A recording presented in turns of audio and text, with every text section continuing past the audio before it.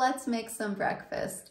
One of my favorite breakfasts is with yogurt. This is Greek yogurt. I'm just gonna take off the lid. I have a spoon. I'm gonna scoop some out. Oop, little liquidy.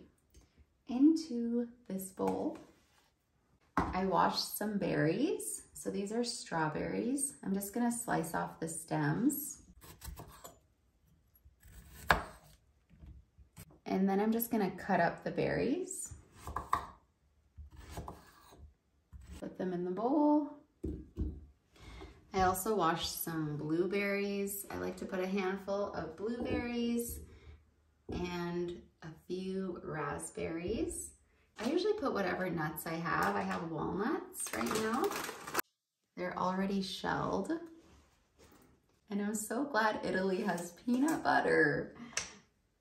This is like mm, natural peanut butter. Just put a little scoop of that.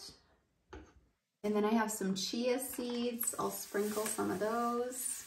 Just a really simple, filling, and nutritious breakfast or lunch or dinner.